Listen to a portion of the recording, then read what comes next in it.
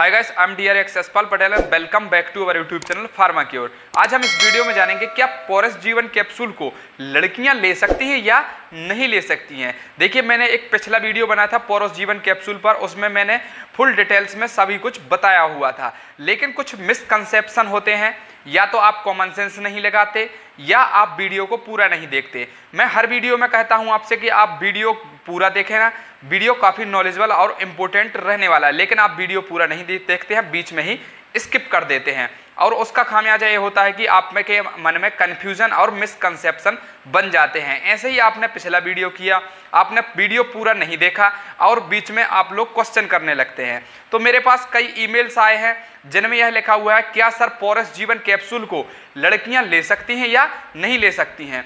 आपने यदि पूरा वीडियो देखा है तो देखिए, मैंने लास्ट में बताया था। उसमें मैंने वार्निंग्स में बताया हुआ था कि इस कैप्सूल को प्रेग्नेंट लेडी भी ले सकती है और स्तनपान कराने वाली महिला भी ले सकती है मीन्स ब्रेस्ट फीडिंग वाली महिला भी ले सकती है। इसका मतलब ये है कि गर्ल्स ले सकती हैं उस कैप्सूल को, है ना?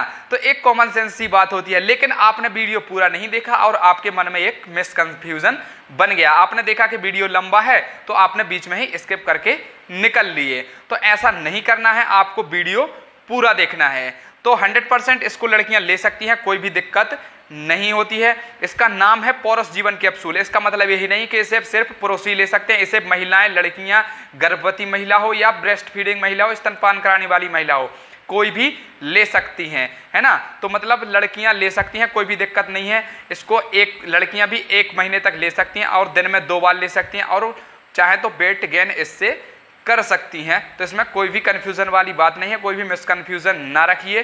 तो आपसे रिक्वेस्ट है कि जब भी मैं जो भी वीडियो बनाता हूँ, यदि आप वो वीडियो देख रहे हैं तो फ़र्स्ट से लेकर के एंड तक पूरा वीडियो देखें, जिससे किसी भी प्रकार के कोई भी कन्फ्यूज़न से बच सकें। देखिए क्वेश्चन कीजिए। आपका राइट है आपका क्वेश्चन करना आपका राइट है। मुझे भी कोई दिक्कत नहीं है आंसर देने में। लेकिन यदि आपने वह वीडियो पूरा देखा होता तो मुझे यह वीडियो बनाने की ज़रूरत नहीं पड़ती, आपका मिसकन्फ्यूज़न दूर हो जाता। सो आई होप आप समझ चुके होंगे और आपको यह वीडियो काफ़ी अच्छा भी लगा होगा और नॉलेजेबल भी रहा होगा। चलिए तो मिलते हैं नेक्स्ट वीडियो में। तब तक के लिए थैंक यू वेरी मच जय हिंद। बंदे मातरम। देखते रहिए। फार्मा की ओर।